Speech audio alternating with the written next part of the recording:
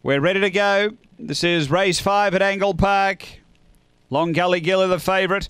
Away, one of the last out, Long Gully Gilly. It's got a bit of traffic in front of it, uh, finding the lead invariably. So the late mail finds the lead. Winthrop Flyer took a tumble back in the field and uh, invariably clear out of the straight. Long Gully Gilly quickly through to second, though. Uh, then Sea Winds as they race down the back. Four away, charging in.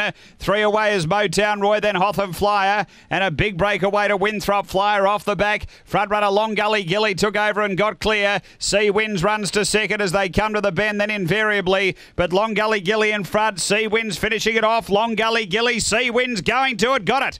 Sea Winds right on the post from Long Gully Gilly invariably and charging in.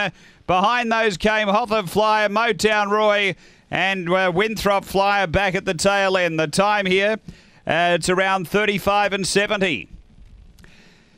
After race number five, now uh, actually stand by here. Number one is in the frame. So number one is the winner. Okay, it's one from four. Uh, two is third. My apologies there. I could have sworn Sea Winds had got the result. Number one, Long Gully Gilly, Ken Gill. Paula Herndon, a fawn dog. November 2014, DJ's Octane, Long Gully Libby. Number one first. Second to four.